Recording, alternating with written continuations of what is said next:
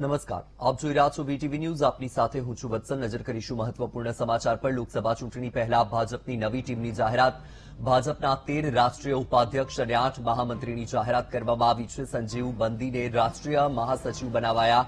Doctor Ramansinh Vasundhara રાજેને રાષ્ટ્રીય ઉપાધ્યક્ષ બનાવાયા. રઘુબર દાસને રાષ્ટ્રીય ઉપાધ્યક્ષ બનાવાયા. કૈલાશ વિજયવર્ગીયને રાષ્ટ્રીય મહામંત્રી બનાવાયા છે. અરુણસિંહ તરુણ યુગને તરુણ ચુગને રાષ્ટ્રીય મહામંત્રી બનાવાયા.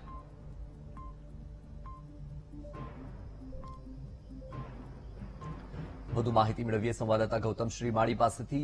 ગૌતમ, લોકસભા ચૂંટણી પહેલા ભાજપે નવી ટીમની જાહેરાત કરી છે. શું વધુ માહિતી?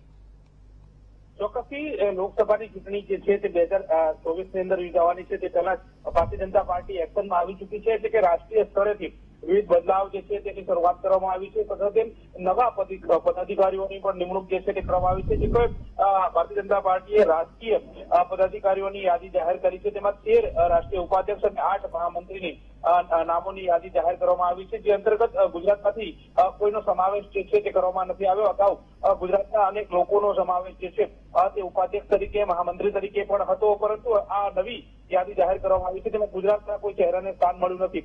પરંતુ જે તેર લોકોની યાદી જાહેર કરવામાં આવી છે, જેમાં તેર ઉપાધ્યક્ષ અને આઠ મહામંત્રીની યાદી જાહેર કરી છે, તે અંતર્ગતની વાત કરીએ તો સંજીવ બંદીને રાષ્ટ્રીય મહાસચિવ જે છે તે બનાવવામાં આવે છે. ડોક્ટર રમણસિંહને પણ ઉપાધ્યક્ષ તરીકેની નિમણૂક કરવામાં આવી છે. વસુંધરા રાજે, જે પૂર્વ રાજસ્થાનના મુખ્યમંત્રી રહી ચૂક્યા છે, તેમને પણ ઉપાધ્યક્ષ તરીકેનો હોદ્દો જે છે તે આપવામાં આવ્યો છે. રઘુવર દાસને પણ રાષ્ટ્રીય ઉપાધ્યક્ષ જે છે તે બનાવવામાં આવ્યો છે. પૂર્વ કેન્દ્રીય મંત્રી કૈલાશ વિજયવર્ગીયને પણ રાષ્ટ્રીય મહામંત્રી બનાવવામાં આવ્યા છે. સાથે અરુણસિંહ જે છે તેમને પણ મહામંત્રી જે છે અધ્યક્ષ તરીકે નિમણૂક કરવામાં આવી છે. તરુણ ચુગ જે છે તેમને પણ રાષ્ટ્રીય મહામંત્રી જે છે તે બનાવવામાં આવશે આમ વિવિધ યાદી જે છે અ, જાહેર કરવામાં આવી છે. ભારતીય જનતા પાર્ટી લોકસભાની ચૂંટણી પહેલા એક્શન મોડમાં આવી ચૂકી છે અને તે અંતર્ગત વિવિધ જે જવાબદારી જે છે તે વિવિધ લોકોને સોંપવામાં આવી રહી છે. બિલકુલ. ગૌતમ માહિતી બદલ આભાર.